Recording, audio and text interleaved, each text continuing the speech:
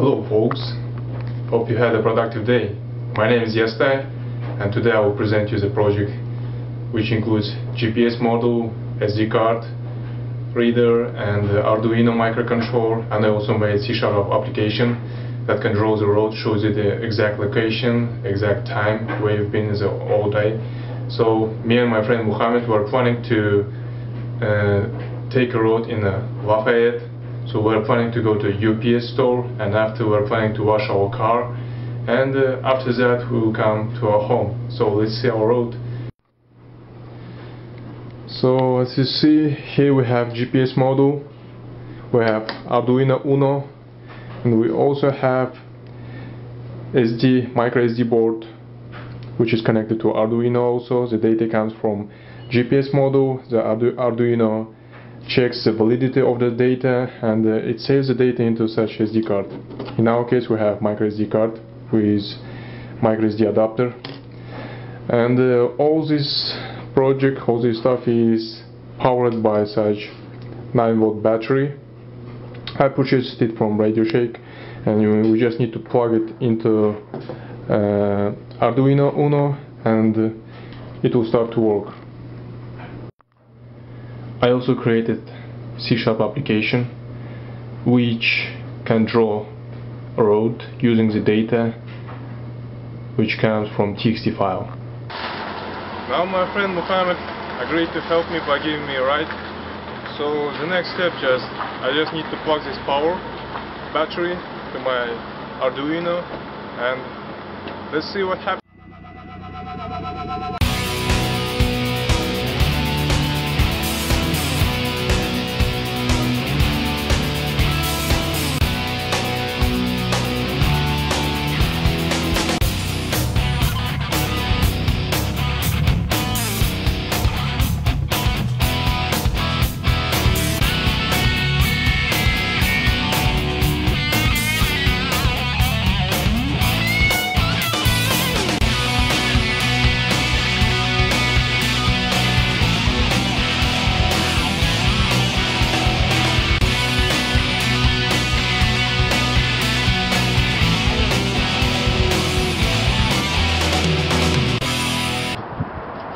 Noticed uh, it, uh, I plugged the power battery to our Arduino. I started our trip from our home.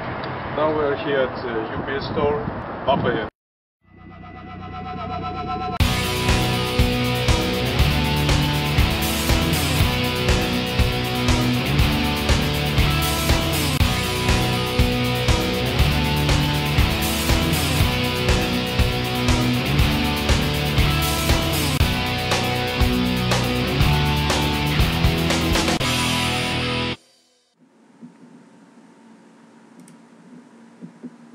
Hello folks, this is C-sharp application. So it takes data from TXT format. I saved it in a temporary file. So basically it has three counts. It's date, time, longitude, latitude. This is basically what we what we need. So this arrow we will use it in order to draw a road. So let's launch this application.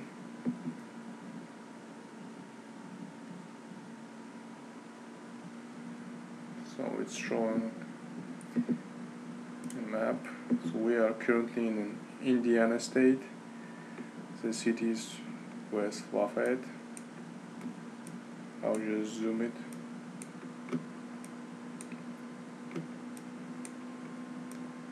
So this is basically our road. We started from here, we went to UPS store, we went to car wash station.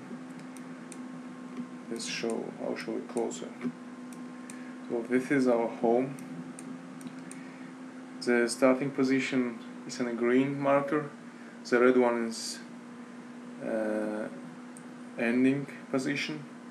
So we started our trip from this place, we went down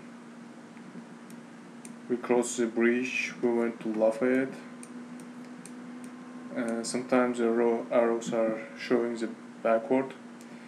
Uh, I personally think uh, this is because we stopped at red light. Maybe car went back something went in that way. So we went to UPS store. Here we have UPS store. I walked a lot uh, by taking the GPS model that's why we have such a mess here. So this is uh, road when we went back. Uh, I didn't tell you when we touch the arrow it will show you the date time longitude latitude. I think that's very helpful. So we went to Mike's car wash station so we cross the road here. This is how we went to the car wash station. We went out from that place. And after we went home uh, let's see here. Oh our road. So we went back home in this position. That's all I, I want to show for the for you now I want to show you some tips how to draw it in a map. I used gmap.net gmap.net Windows Form libraries in order to draw it. Uh, personally I created two classes. One is coordinates and time. It takes a time latitude longitude. It has three variables. The next one is gmarker image you just need to plug two points. It will calculate the bearing point. And the, you know uh, before the drawing the picture it will rotate it rotating function. And that's all here. Here we have txt file document. It saves it by W limiting it says to the coordinates and time as you see the array list is global variable. It takes that object. So we have array list which consists of objects. So how can we access them? This is how how we are accessing the, that objects by indexes. This is zero index. It means it is starting position. This one is ending position. After we draw it in the map uh, we just take the picture and we draw we just plug two coordinates this is how we plug it. And uh, we just draw, draw them. And that's all. Here let's see what we have in our Arduino. How we programmed it.